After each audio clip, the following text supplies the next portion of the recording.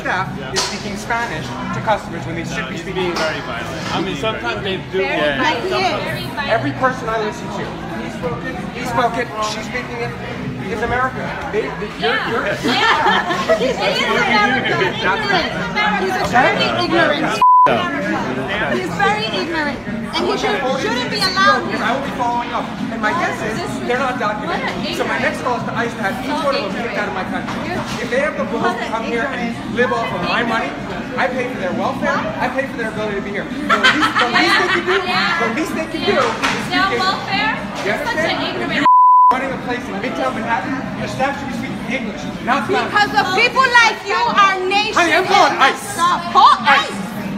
So that they can speak. Maybe you shouldn't eat that sandwich today. Take a break from the food. Men